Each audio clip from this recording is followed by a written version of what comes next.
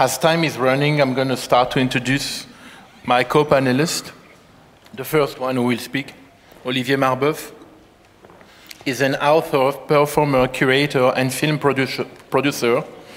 He is the founder of the Space Khiasma Center in Les Lilas in, in Paris, I mean in the suburbs of Paris, a suburb north, northeast of Paris, which he directed from 2014 to 2018. At Khiasma, he developed a program focusing on minorities representation and post-colonial situations through screenings, debates, performance, and collaborative projects. His texts operate at the intersection between poetic fiction and speculative theory. He is interested in place as a form of presence and the body as a landscape.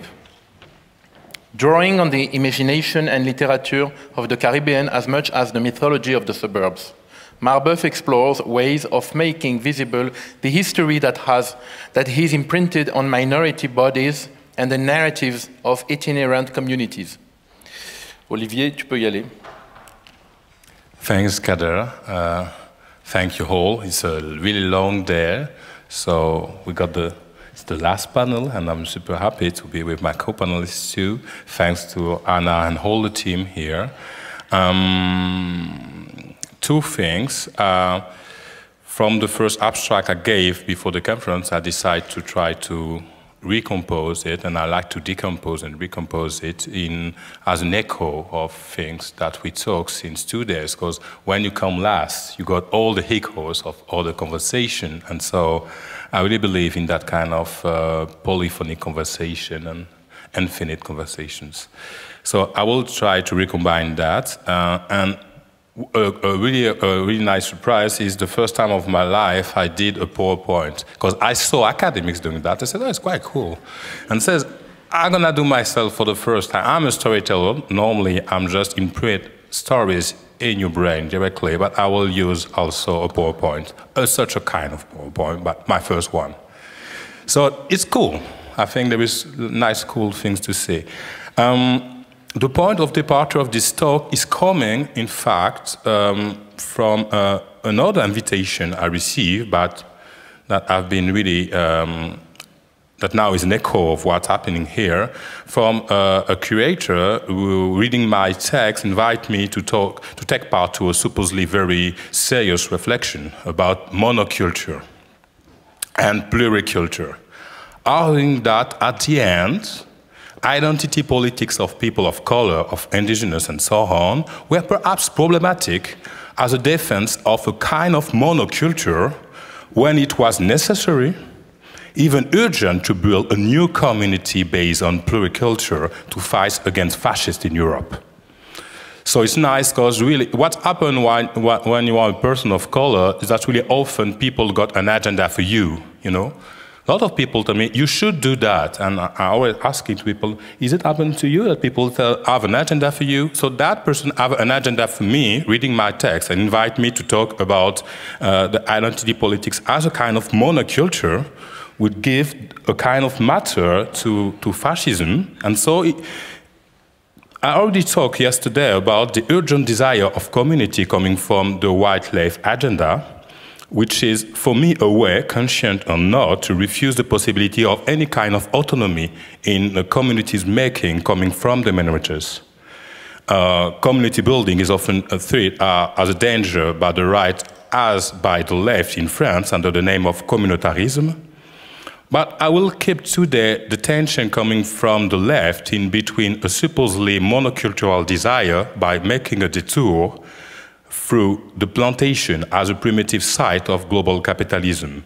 I say a detour, uh, and as Kader said yesterday, because there is no there is no possible return from the colonial violence. So I choose here the Creole storytellers traditions to make a so-called detour, which means to come back in the past in a movement of spiral in the sense of the reinvention of a potential future thanks to a particular attention to colonial episodes and infrastructures. As the Maroons, and we'll, I will talk about Maroons later, the runaway slaves, grabs fragments of history, of landscape, and sensation and violence in their own body. And I will talk also about the body as um, uh, a site and also a tool for archiving a certain kind of archive that doesn't exist outside of the body as documents.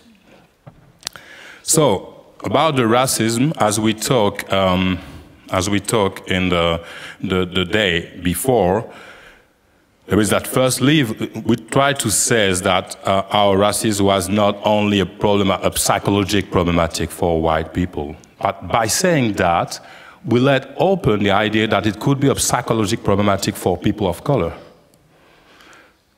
I think there is two different levels that we have to try to examine at the, at the same time. The first dynamic is the dynamic of the capitalism, uh, the, the, racism as a dynamic of capitalism and colonialism. That's mean the systemic dynamic, as we talked the day before.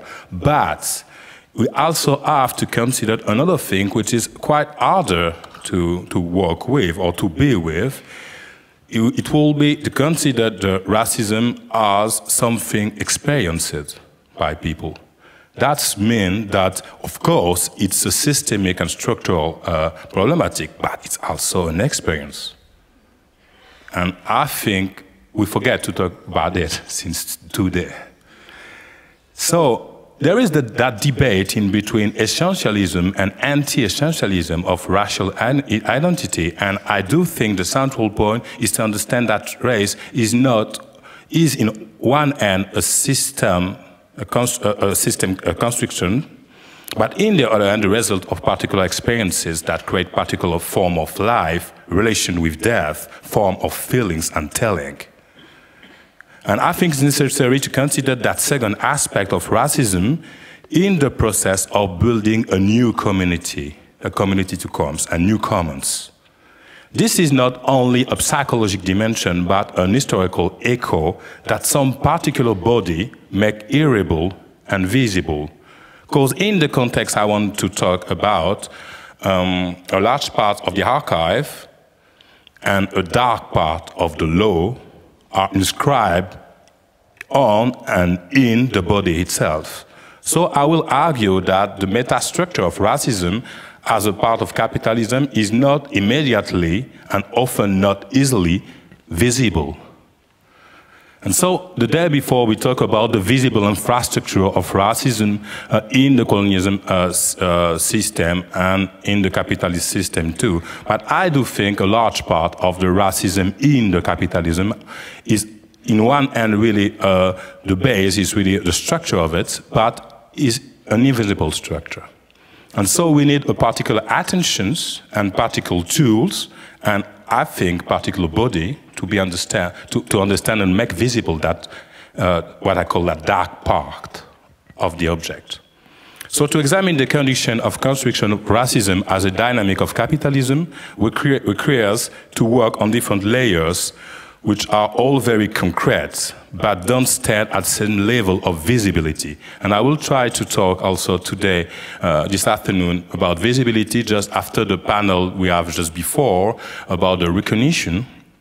Because I think there is a kind of paradox in the struggle for people of color, which is the desire of visibility which in certain way, uh, uh, as it happened with the face recognition uh, software, some people, black people claim that um, they got a problem with the fact that the algorithm is not able to recognize them.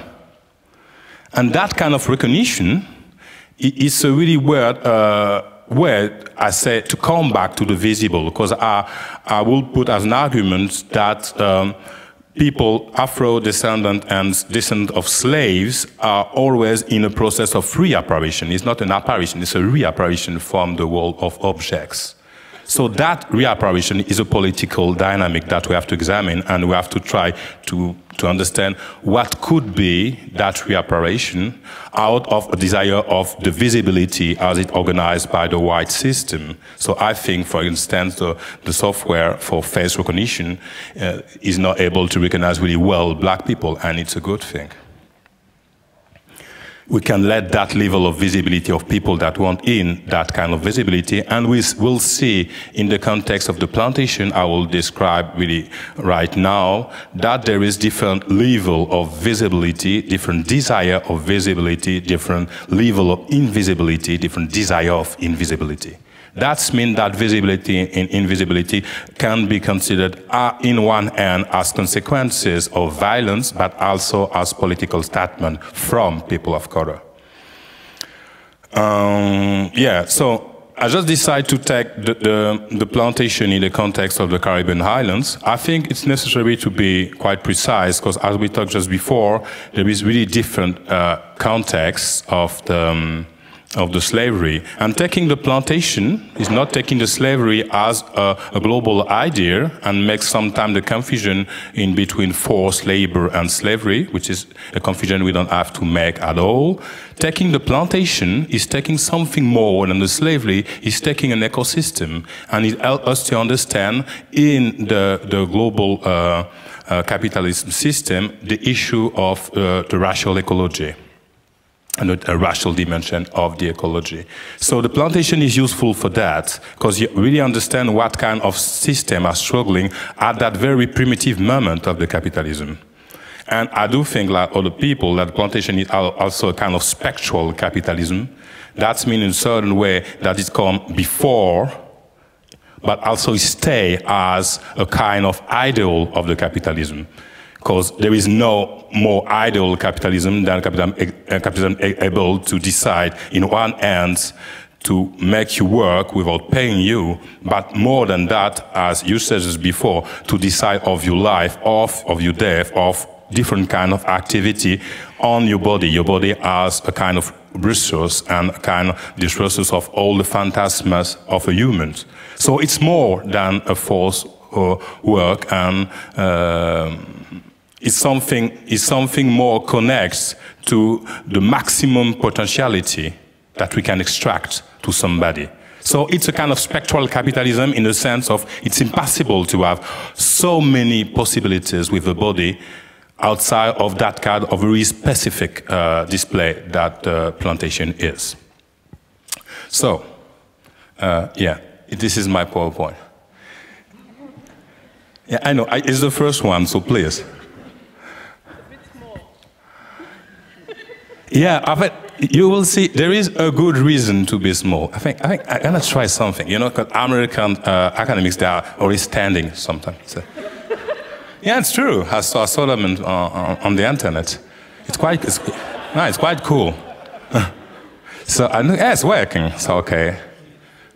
Soil, clean the soil, clean it, kill everything there is nobody now. A terra nullius. You can come now. Build a house, a safe place, a core. There, they will have only one family. Everybody will call you daddy. Everything will be on your shoulders. It's your burden. You are the center. You are the light, the sweet and fragile light in the obscurity. The plantation. In the middle of the plantation, there is a house, and there is masters, because they can be male, but we forget that they can be female too. I'm sorry for the white feminist. So there is masters with a a S. And there is the house slave. And the house slave is that really specific matter I just talked before that you can use for a lot of things. But people always think that in the first house, it's not already the plantation, it's really the settling, it's really the beginning, it's only the house. You know that 80% of the people that participate to the colonial um, colonization of the Caribbeans, they die in, on the first month because of the different virus on that region. So only 20% stay. So they create that kind of safe place, surviving place. And the first thing they have is the house slaves. And this is the first structures. And it's also something to create a kind of space of care. The idea of care is the idea of the use of the body until there is nobody. You know, a kind of product that you can use and is care about you. So in house, the house slave don't have always function except being our slave and ex except being a kind of matter that you can use. And so there is a plantation. That means the plantation is bigger than a horse, but with the plantation appear two other characters on the storytelling. The Creole are slaves and the field slaves. Why there is a house slave and a Creole house slave? Because there is something you have to know about the, the term Creole. That term Creole, in the first instance, means born in the colony. So the white people in the colony are Creole, and the black people born in the colony are Creole too. At that moment, we don't use Creole for another sense, at that very moment. So the difference, in, and we will see in the economy of the plantation, the difference between the house slave and the Creole house slave is that the Creole house slave are born in the colony. So there is really a question, how you can have somebody born in a plantation in a context of radical separation, racial separation. So there is different system, I would say. There is, let's say, the British and also the Dutch system, which is quite the same. You build a house, and you put slaves in, and you ask them to reproduce themselves to produce new slaves. This is how we have more slave, and we have sometimes Creole slave. This is one of the reasons. Of course, the Creole slave, and we will see that they are a part also of the free men and women of color. The Creole slave can be also son and daughter of the master, because in the house, we can also use the slave to rape them and to produce such a kind of slave that they will begin free slave. It's one way of becoming free in the plantation. But the French system is quite different than the English one and the Dutch one, because the idea of the, uh, of the French government, which is quite a clever idea, even if it's less capitalist than the, the British and the Dutch, because they, they invent capitalism. So they decide to reproduce the slave, and the French people says, no, there is another issue. If people are reproduced in the plantation, they will have in time a certain kind of knowledge of the plantation certain kind of culture. They will know the place. Called, they were born there, and after the, the, the children will know, and after that, after several generations, they will have a kind of knowledge of the plantation context. And in the French uh, government, the strategy says no, they always have to be as the first day of their life here, so they decide to have a, a permanent importation of new slave from Africa until the end of the colony. So it's a really different system. And so the term Creole is really used often to, as an opposition to the slave coming from the Africa, which is called Bosal. So when nowadays we say Creole, is always no opposition with the Bosal and opposition between Caribbean people and African people. So the term Bosal is not a sweet term, just to say African and close to the slavery. And Creole is the first step from the blackness to a certain kind of whiteness. Is the idea of a, a step towards a certain kind of respectability.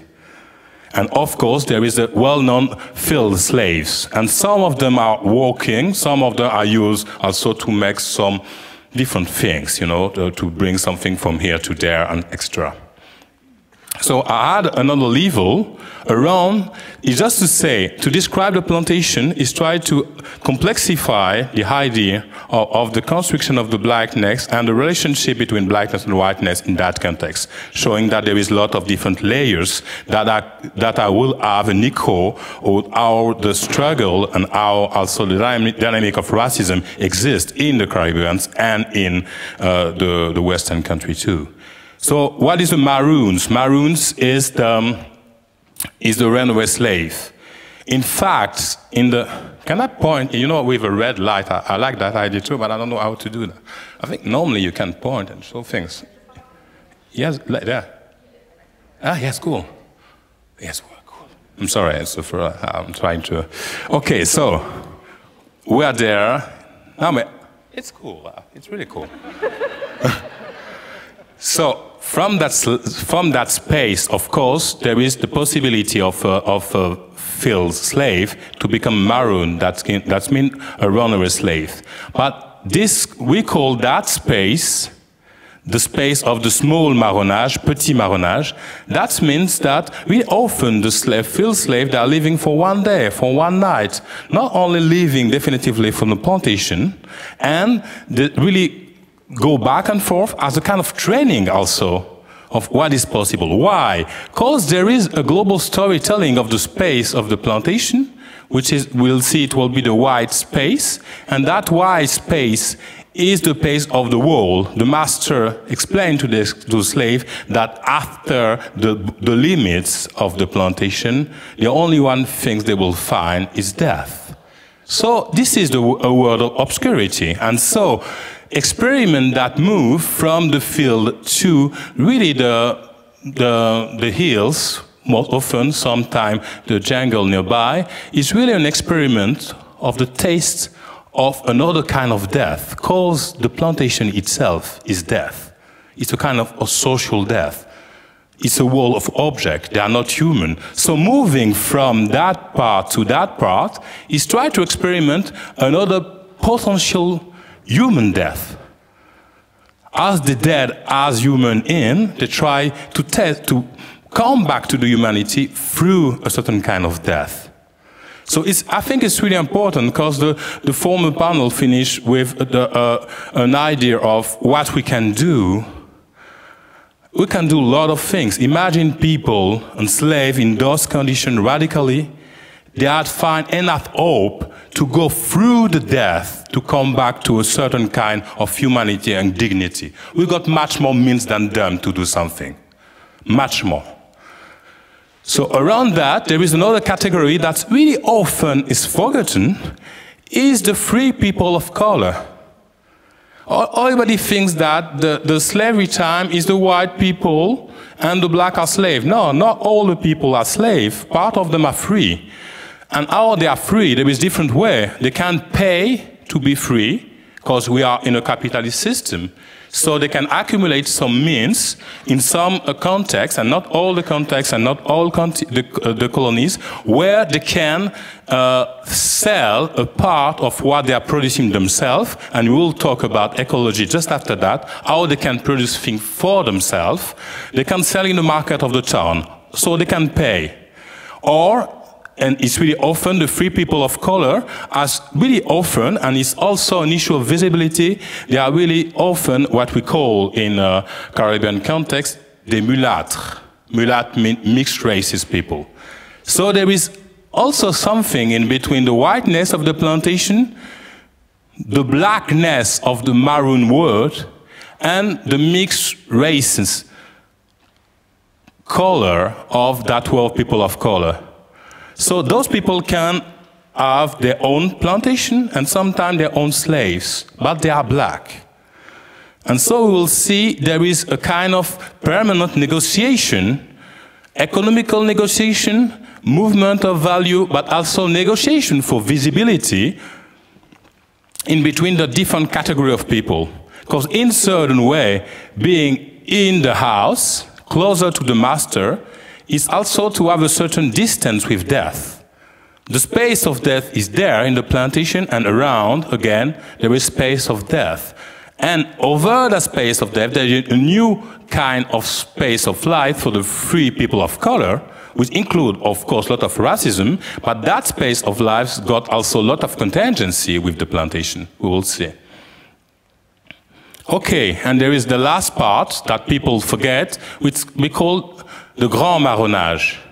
So as I said, the space of the petit marronnage, the small marronnage, is more a space of in certain way of training, of trying to leave the plantation for one, two, or three days. What happened to a slave when he's getting out of the plantation for one day, two days, three days? When he's coming back, there is a really, uh, uh, really famous code called the Black Code, or the Code Noir for the French colony. And what is the Code Noir? It's not exactly a law, as if, even if it had been uh, organized by the government itself, the colonial government. It's more something like a user guide, you know? You bought a slave, don't, don't, don't destroy your slave. You know, it's like, uh, it's, it's, just to explain you what to do with your slave. So you bought a slave and you have to, to know how to, in certain way, use in the better way as possible your slave. So the Code Noir is a kind of really clear inscription of the law in the body of the slave. If he live one day, you will cut a piece of his ear. So other people around will know that he, he, he make a fault. If he live more, for more, more than one week, you will cut a part of his leg, etc. But you don't have to kill your slave, but it can happen. So the Code, the Code Noir never said, don't kill your, your slave. He says, your slave is a matter that you have to use. So if you kill it, you kill your own uh, means of doing things, your own tools. So it's a way to, to take care about the, uh, your goods. And so I will just saw in the plantation the, uh, the different level of visibility. So of course, the, uh, no, it's not that, that. Of course, in the in the center, there is this, the white space, and this, this, is the space of light and hypervisibility. The maroon space is a gray zone. There is again the town, which is a white zone, and there is a darker zone in, for the Grand Marronnage. The Grand Marronnage means when the slaves are leaving, not to coming back. And they are living so far that sometimes they can stay there, here. So the, the, the story of the Maroons culture, and are not indigenous Maroons, and I will explain really quickly what I mean. Those Maroons live far from the plantation, and, and there is different context, and in different, really in that case, on the geography itself. There is some islands that are so small that there is not possibility to, to do a grand marronnage, but there is some context where you can do a grand marronnage for a specific reason. For instance, in, the, in Guyana, in Suriname, and all the, the, the zone of Amazonia, for a really long time, uh, at the beginning of the Brazil, people forget that during 25 years, the uh, Dutch administration where, uh, was the, the administration was Dutch in the, in the Brazil. We call it the Dutch Brazil. And they, do, they did something really logical as a, let's say, a capitalist power. They says there is some problems. I will show you the economy. Yeah, the economy is there. If you look at the economy of the plantation, we can say that something like that. Of course, there is a lot of different cases, but I'll give you big pictures. The first yellow economy is the economy of the house. So it's a service a capitalism of care, entertainment, and goods. That means, as you said just before, that means that also it is not only used to produce something, but it's used also as goods, okay? Around that, the plantation is really a monocultural capitalism. So, you know that in a plantation we only cultivate one things. So it can be a coffee, it can be uh, sugar, uh, it, can, it can be cotton. But it's only one thing, it's a monoculture. And really often that monoculture is not coming from the region. For instance, things, uh, people think that bananas are coming from Martinique, which is not the case. They're coming from uh, Ivory Coast, but they've been imported, and we, they create a monoculture of bananas in that region because of the climate, okay? So after that, there is that gray zone, which is problematic with the, with, at the moment of the Dutch uh, government of Brazil, for instance. And I call it the contingent anti-capitalism. What does it mean? That means that people that living really close to the plantation, but they are, uh, they are free because they, uh, they are runaway slaves, they come back really often to the plantation to make some uh, uh so-called razzia or raid, to take things in the plantation. So they keep the plantation as the main resource of, of, and so they stay quite close to the plantation, hidden in the hills, and come at night to take all the slaves with them to constitute a kind of collectivity or to take some means or to take some water. You imagine the plantation as really often create uh, on the Caribbean on the coast, and there is a lot of volcanic island in that region, so really quickly you got hills. And so in the hills it's harder to cultivate things and it's much more dangerous. So for the small marronage, the idea is to stay close to the plantation. And after that, there is, of course, the town with the commerce and entertainment and concerning the, uh, the free people of color. And far away, and this, I will finish with that part for, for me, just to make the loop in between the first question I've been asked about the monoculture and the permaculture. There is what we, we could call now in the Western country the super cool biological agriculture. That means that people are producing for themselves only to eat. So here in the center of the economy of plantation, there is a monoculture, mainly created to export some, some goods. The sugar is not for the locals, the coffee is not for the locals, the cotton is not for the locals. And if I'm come back here, I would say what the, the output of the, uh, of the, of the plantation is the sugar, cotton, coffee, etc. The input, they are slaves. And you see the different potential movement of of, pe of people from the different parts of that kind of era.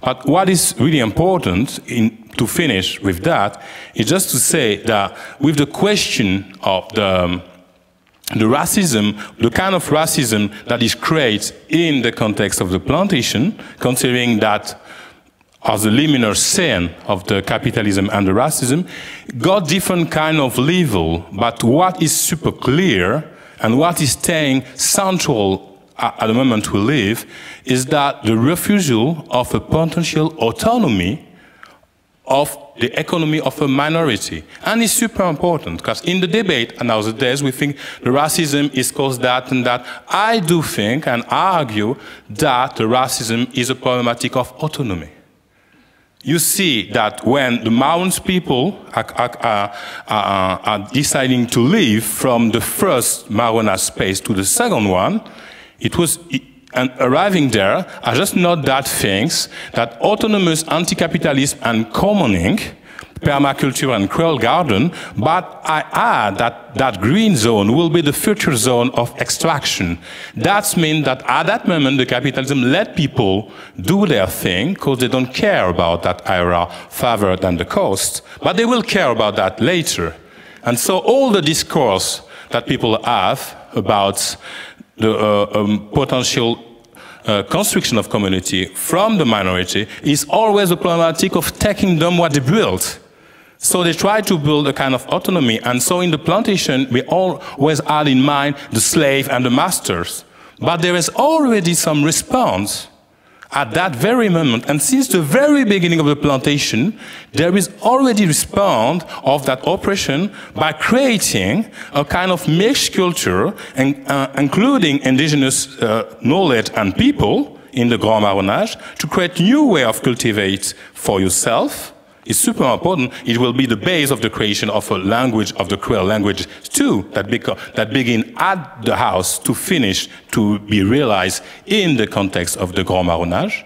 And so I do think that that possibility of being out of the, of the influence of the light of the house is the first thing that, I've, that, that is that is really the, the dynamic of the races that we're living at the moment. And I would like to examine it with more precision later. Thank you.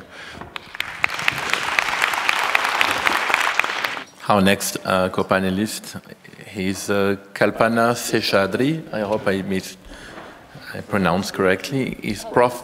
Yeah, he's professor of English at Boston College, where she teaches courses. Actually, I don't need my glasses for this.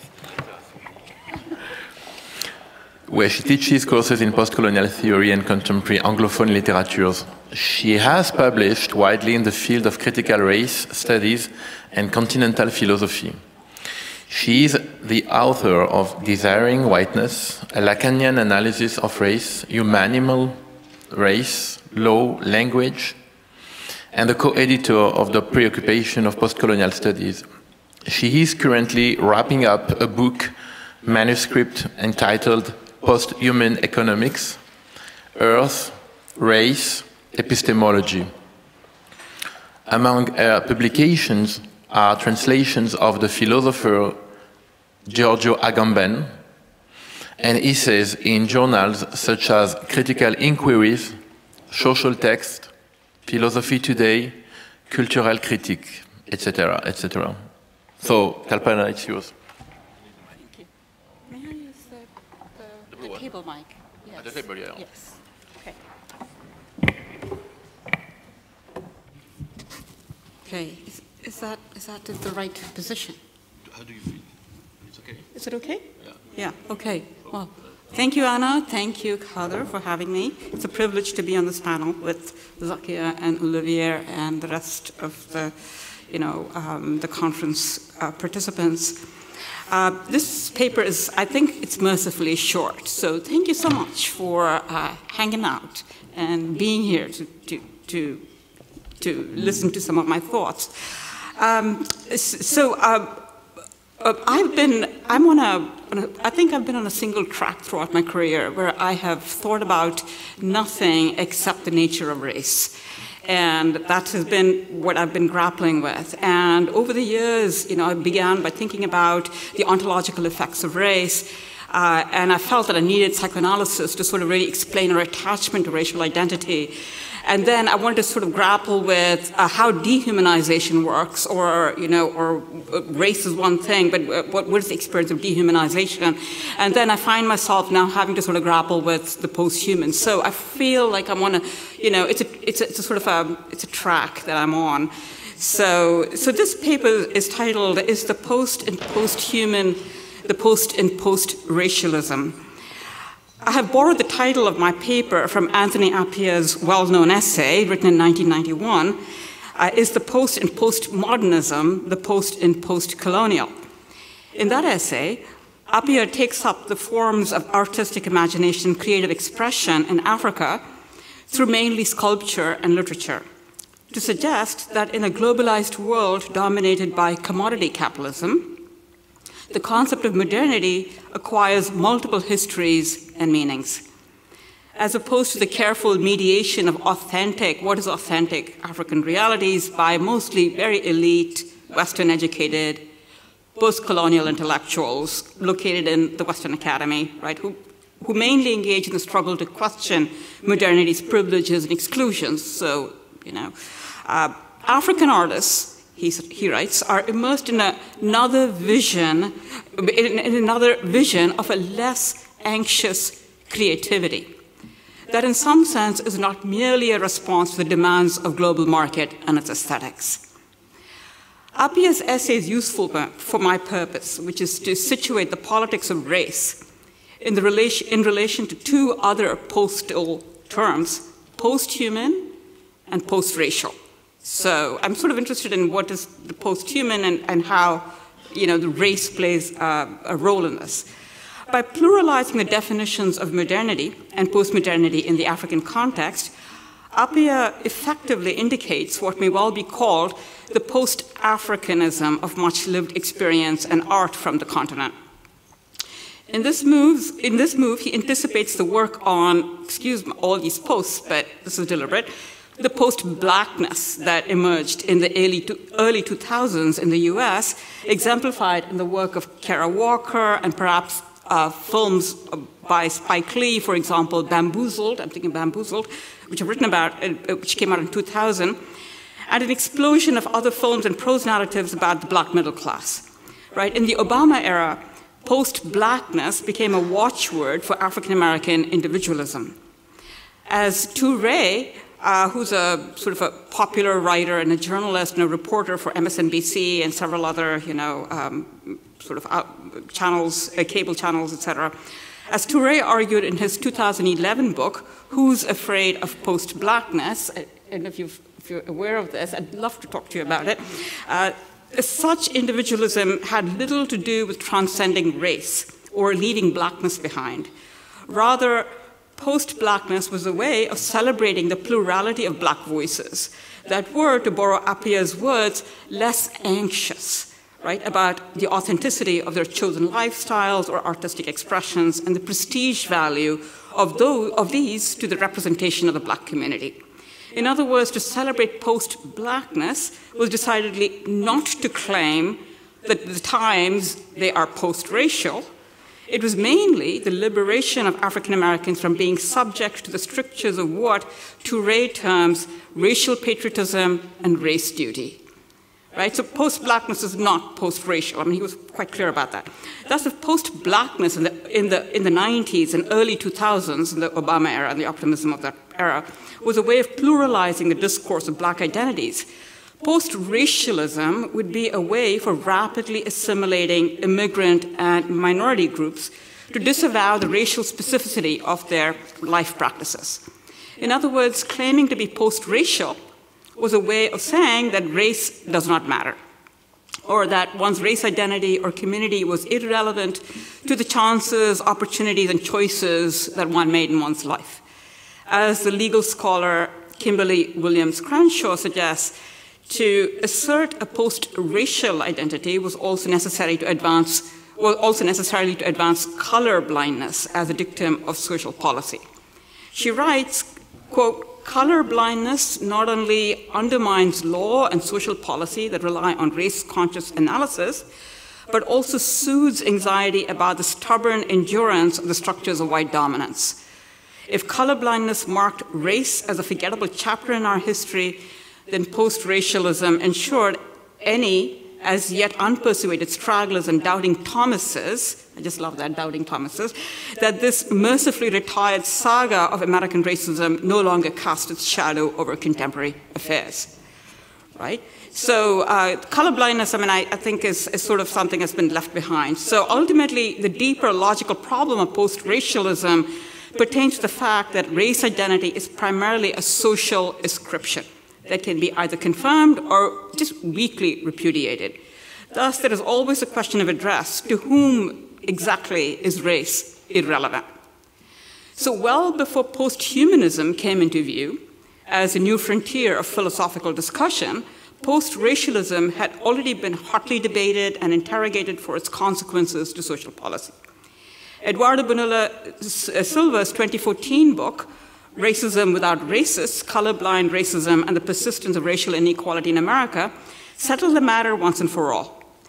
There is a clear consensus that post racialism or colorblindness is a discourse embraced almost entirely by conservative thinkers who question the value of affirmative action and other race based programs that aim to redress social inequality and discrimination. So I concur with many of its critics that post racialism is a concept conceived in bad faith and was invented to protect uh, was invented to protect white privilege and to erase, deny, and rescind the political gains made by African Americans and other non white groups in the US. That colorblindness as a social policy or practice has very little support among progressives is a foregone conclusion. A university degree is not required to realize that when race is ignored in the distribution of resources or the assertion of civil rights, it produces and reinforces inequality. So, given the low regard that notions of post racialism are held in, especially within the critical race studies circle, it can come as a surprise to hear that the contemporary crises of economic and, and environmental inequalities that have precipitated a plurality of interdisciplinary discourses under the rubric of posthumanism are suspected of repackaging post racialism in the guise of a depoliticized eco romanticism. How did this association of the post racial and the post humanist, of a post racial and post humanist discourses come about? What is it about the critical tools constructed by post human discourses that give rise to such a perception and raise political suspicion. For starters, I would say that though posthumanism is not coterminous with environmentalism, there is indeed an unquestionable overlap. In this regard, there is a not entirely unjustified sense among many at the receiving end of the climate crisis that mainstream environmentalism in the West is shaped entirely by white actors and their interests. Furthermore, we must admit that for all its interdisciplinary claims, posthumanism, with its focus on evolutionary and geological timescales, can appear deaf and blind to historical trauma. As evidence, one can cite the fact that these discourses do not exhibit much diversity in terms of their interlocutors, be they social movements, theoretical resources, or historical narratives. Nevertheless, despite these major shortcomings, I think anti racist politics stands to gain by disarticulating these two terms, post race and post human, in order to understand and clarify the post humanist position on race. Thus, so this is what I'm engaged in, and I want to clarify this, and I think I have some colleagues who are also interested in the same thing. I hope it will be a collective effort, an effort that will grow. Thus, we must begin. Thus, we must ask what is hidden or obscured in this conflation or reduction of posthumanism to post racialism, and what or how race figures in the critical problematics of posthumanism. I proceed from the belief that clarity on this issue is more urgent than ever if we are to make way for real change and confront the problem of whiteness that marks humanism and the dominant strains of environmentalism in the West. What is at stake in this endeavor is a powerful opportunity to discern new possibilities for a clearer, more illuminated anti racism that is implicated in posthumanism. I suggest that posthumanism is inherently antithetical to post racialism. And when it is deployed as a particular and honed as a particular political tool, it can be thoroughly and wholly anti racist. Okay, and when I say, when I write anti racist, I write race slash ist because I think the distinction between race and racism is a false one. I mean, I think system of race already embeds within it is inherently racist. Uh, in fact, what can distinguish posthumanist anti-racism from other idioms of anti-racist struggle is its potential to scale up the question of race to the planetary level, to expose racism as a practice in, intrinsic to the climate crisis. But first, let's deal with the perennial question as it is posed by many what is posthumanism? There have been many productive and excellent responses to this question. Cary Wolfe, Neil Badmington, Katherine Hayles, um, you know, Karen Barad, you name it. I mean, it's, it's huge. Donna Haraway to a certain extent. And rather than review them here, I propose that we approach the question a little differently. Instead of asking what is signified by the term posthumanism, which assumes that it can be assigned a recognizable theoretical unity, we can ask what is signifiable or resignifiable with the term serving not only as a signpost, right, but also as a tool of political intervention. To echo Foucault, we could ask not what is posthumanism, but what can posthumanisms, in the plural, do?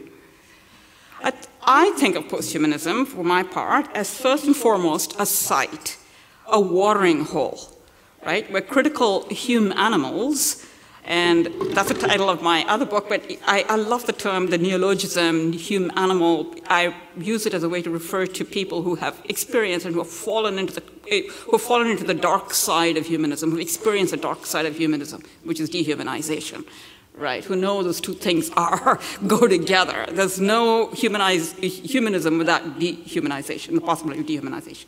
So human animals are those who are aware of this, right? Human, so I think of it as a watering hole where critical human animals gather to examine the legacy of humanism and its sovereign capability to dehumanize. In this, I agree with Cary Wolfe, who suggests that posthumanism is fundamentally a philosophical and political critique of humanism whether it engenders an alternative ontology of the post-human, right? I mean, if you want to follow the Deleuze um, track, I mean, you know, the, a positive ontology after the end of ontology, right? Uh, I think that's very much open to debate. As a gathering place for ideas, posthumanism resists attempts to unify the term conceptually or attach it to a theory or school of thought or philosophical tradition. Definitions at this entry level can be constraining and counterproductive.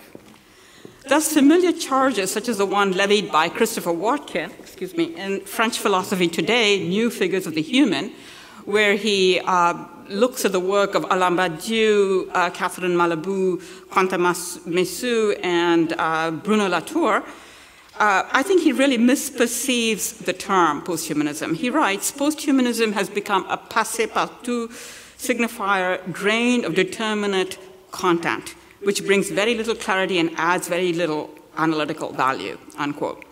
I suggest that the lack of determinate content, the emptiness of the signifier posthumanism, is necessary in order for it to mark a terrain for progressive political discussion regarding the implications of race and species ontology.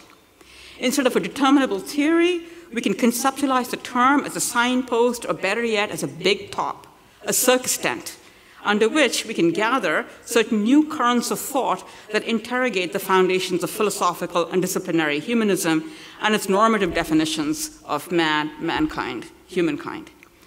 However, within this noisy and disorderly arena, I myself would assert that the salience of the function of posthumanism as a tool for political upscaling of grievance you know, cannot be denied. Right? particularly where race is concerned, my sense is that posthumanism is a critical tool that, that can expose racism as the invisible and fundamental taproot of our present planetary crises. Thus, I propose that those who discuss the human animal binary or the numerous crises pertaining to climate change without reaching all the way down to the root where it is supplied with the logic of race or those who discuss race and economic inequality without scaling all the way up to the concern for planetary being are epistemological retrogressive.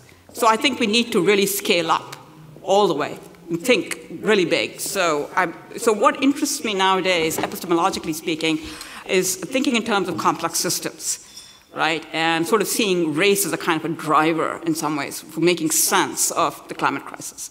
So race is a category of analysis that helps us make sense of the climate crisis. So we have to scale up. We have, we have to sort of think in, in, in, in larger macro ways. That means that is how one does micro politics. I know that sounds paradoxical, but that's how it works. So mainly, when you don't scale up or you don't reach down all the way to the taproot, where race supplies the logic of the climate crisis, mainly if we don't do that, we risk lapsing into familiar humanist methodologies that Deleuze terms arborescent as opposed to rhizomatic, right? Which I think is really a fabulous a way of thinking about new ways of thinking outside the kinds of categories that we've inherited, right? Uh, that is a production of segmented knowledges that divide and separate modes of being in order to represent them in lieu of perceiving the complex entanglements and connections that dynamically map reality. So the, the aspect of Deleuze that I find very attractive for thinking about posthumanism is, of course, his, um, his deep debt to Spinoza, right? And to the idea of being able to sort of say, once again, that being is one, and it is plural, right? I mean, and it's, it's, I think it's a really powerful, which means you have to think in a completely different way right? And to uh, sort of, um, and, and you have to mine a completely different archive altogether, not, not a, a very different philosophical tradition. Okay, having stated my intention to distinguish the project of posthumanism from conservative post-racialism, I must nevertheless acknowledge that there has been a significant and resounding silence within this critical space on the question of race. I am not interested in charging one or another thinker with negligence for their lack of attention to race. But I think we can see how the project of post-humanist discourse has gotten ahead of itself in turning so exclusively and decisively to questions of speciesism, the binaries of human versus animal or human versus machine, without fully contending with the dark side of humanism's power to dehumanize and its fundamental investment in race discourse. Remarkably, what post-humanist discourses have failed to confront is the way common sense ideas of race are in fact immanent to almost all critical thinking that we practice nowadays. In other words, the logic of race is not simply an object of critique that can be safely left with race theorists, right?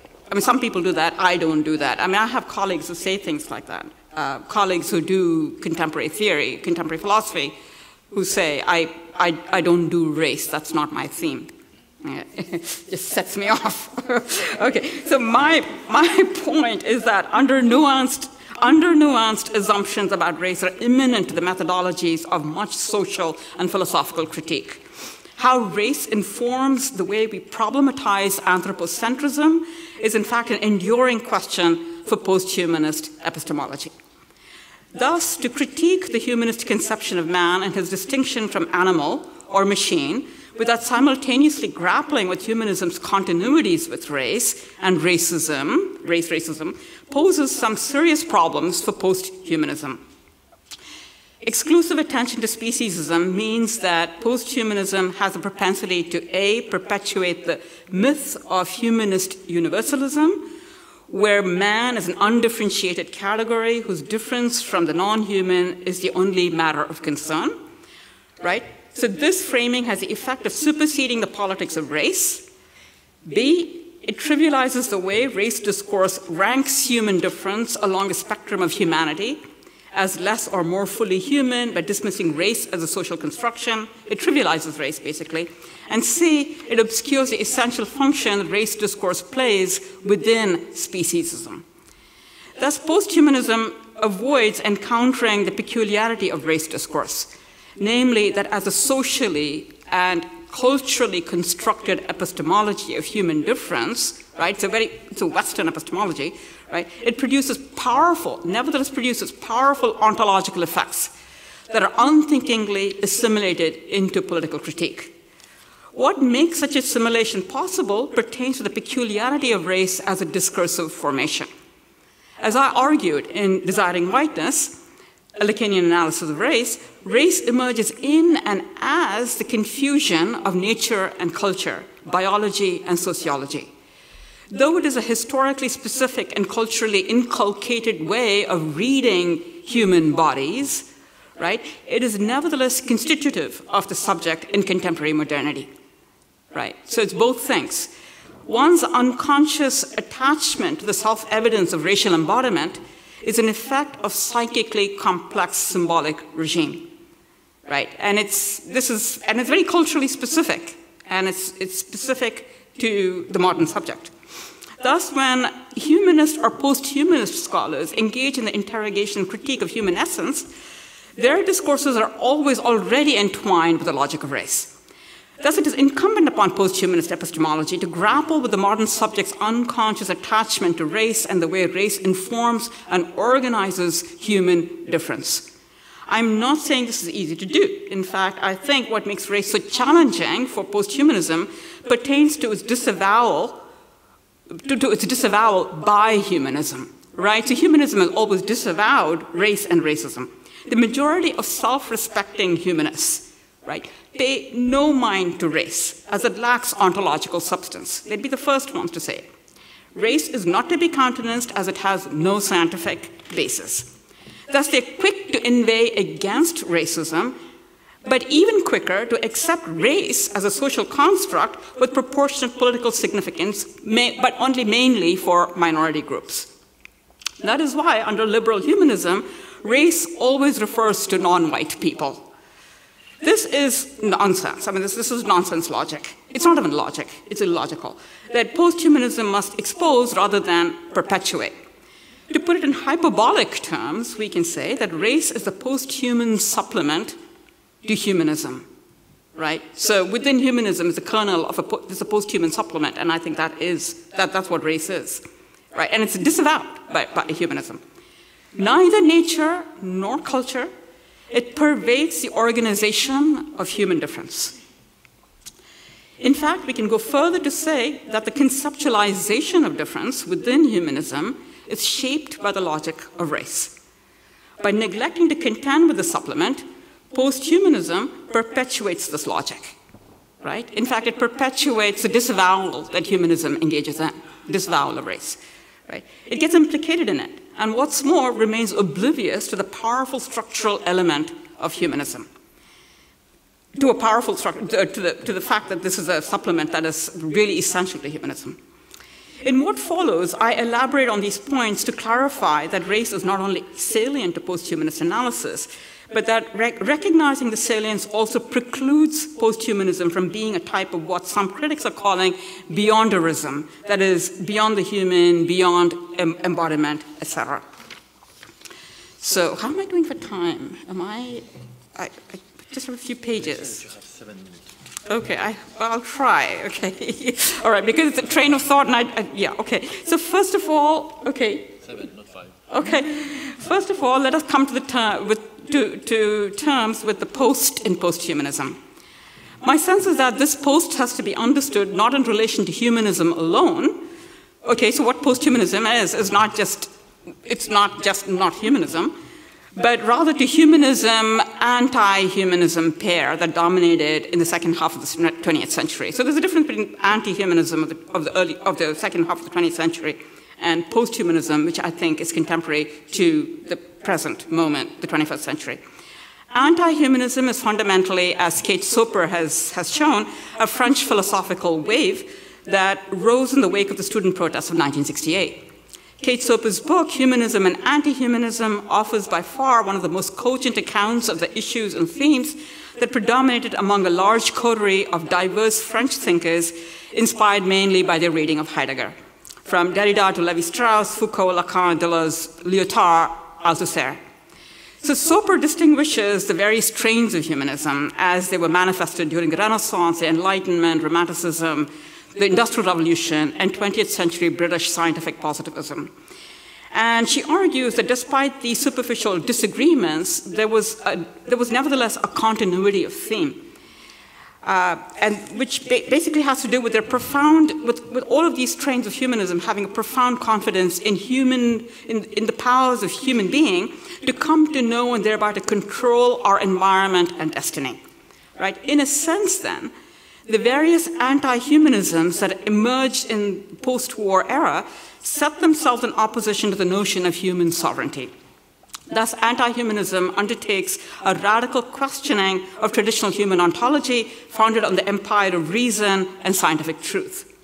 What comes under, so you know, this is what we see in Foucault, we see this to a certain extent in Derrida, we see this you know, um, in, um, in, in, in, in other thinkers. What comes under scrutiny is the entire foundation of the mythology of mankind, right, uh, that forms the core of all humanisms. This mythology is founded on the moral doctrine of species commonality, that is, that all human beings are Homo sapiens, share a set of inalienable attributes, and unquestionable humanity, and are therefore equal, right, and have a right to uh, claiming the right to life, which is human rights, right? So it's that whole matrix of thought that they're critiquing, the anti-humanists. These ontological attributes went beyond evolutionary mutations, right, according to the humanists, such as bipedalism or the capacity for language. But it, it, included or referred to notions such as agency, free will, responsibility, moral judgment, uh, the dignity of the human, et cetera, et cetera. So all of these get sort of like questioned, interrogated by the anti-humanists. So sorry, and this is so telegraphic and Uh, raw, but I have no choice in this, you know, lack of time. All right. So these essential human attributes are also, also position man as the maker and the driver of historical process, a sovereign form of life that gave meaning to the world and to the cosmos.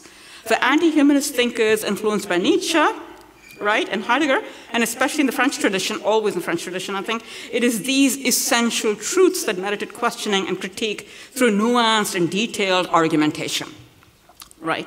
And we are entirely indebted to them. I mean, I don't see how you can do post-human work without uh, humanist work, without going through these thinkers.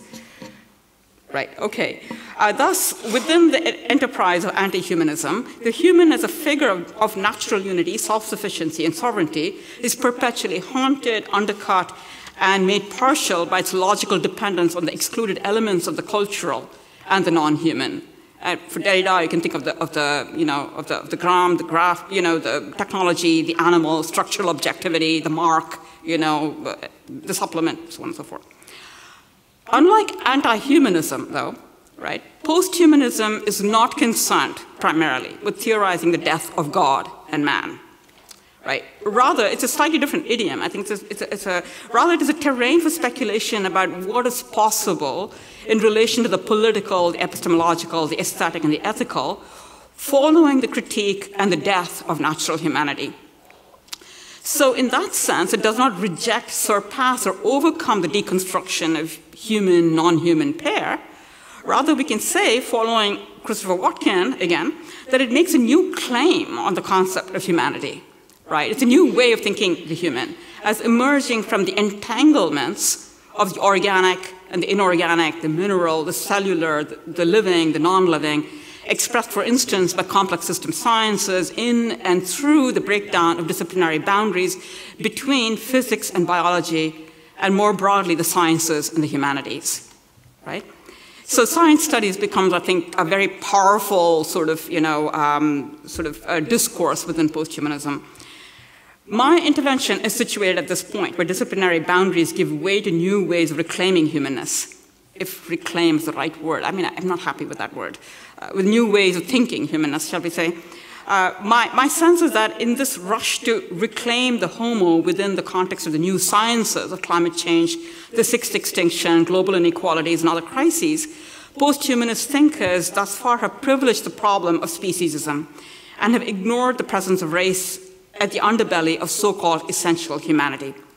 In other words, they have neglected to encounter the unspoken role played by race discourse and race logic in the construction of humanity's commonality and difference.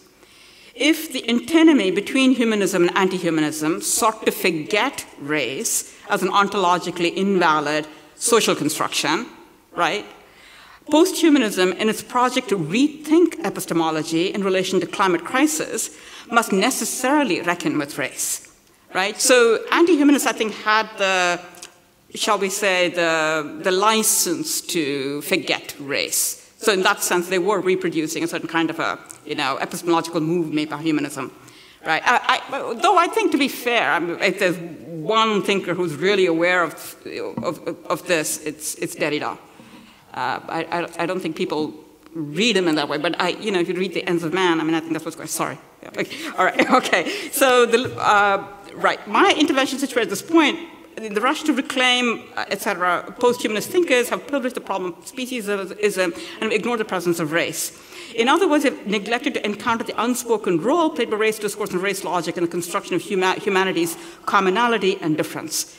If the antinomy between humanism and anti-humanism sought to forget race as an ontologically invalid social construction, Posthumanism, in its project to rethink epistemology in relation to climate crisis, must reckon with race. I already read this.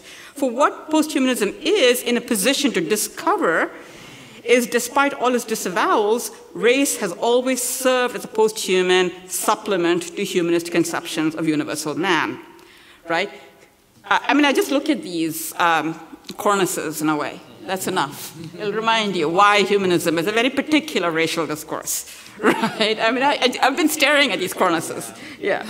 Okay. Considered from the point of view of genealogical analysis, we can say that the logic of race is, in fact, the condition of possibility for the thought of the posthuman. Right. It's really fundamental. Posthumanism reopens the question of humanist man again.